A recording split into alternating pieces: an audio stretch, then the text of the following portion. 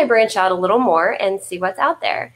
So out I went to Vegas to your Growth Con, and it was phenomenal. Not only were the speakers just amazing, I mean, there were some really successful, insightful people, many who started with absolutely nothing, and they've built empires as well. Um, I made a remarkable connection while there. Um, I was out networking in the arena and connected with Mike Fallat of DreamStarters Publishing, and now I'm ghostwriting books as well. So it wasn't just the speakers, it was the attendees. It's just a over.